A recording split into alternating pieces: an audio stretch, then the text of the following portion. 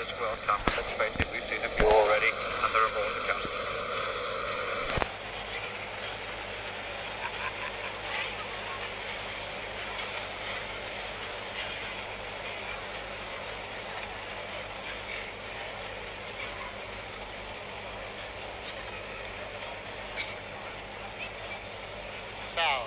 For the second time.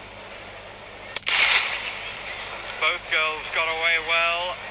Szewińska going well. And going away a little bit from Koch at this stage, already up on the girl outside her.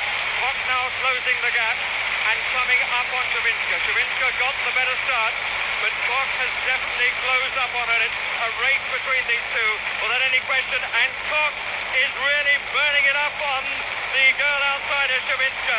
Marita Koch, Szewińska must see her out of the corner of her eye and knows that her title is in jeopardy as world record middle off the bay.